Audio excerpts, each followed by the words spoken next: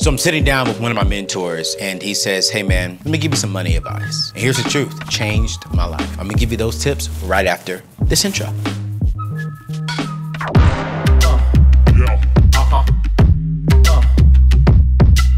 What's going on, fam? If today's your first day rocking with your boy, thank you so much again. My name is Anthony ONeal, and you guys know already, I have a huge passion of helping teens and millennials reach their goals. And one of the goals I really want to help teens really accomplish is really being successful with their money. And I remember my younger 20s, I was given some advice that really changed my life. Number one, you gotta live way below your means. Now, you know, you have some people out there who are saying, you know, they're living off of 50% of their income. I live off of right around 60 to 70% of my income. Listen, what I want you to do is get on a budget. I want you to write down everything that you have coming in, all of your income that you have coming in.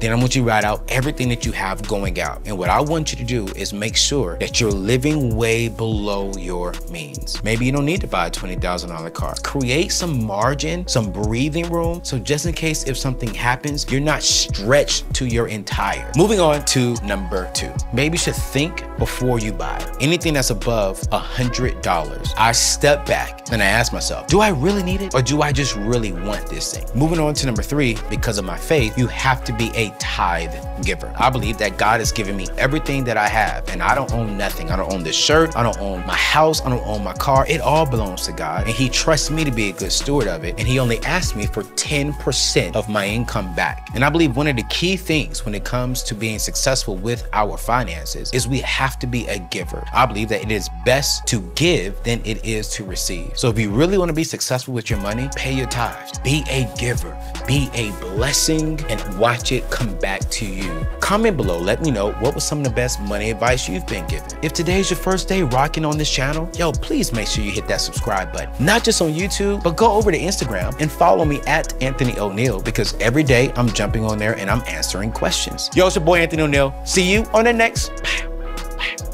video. Peace.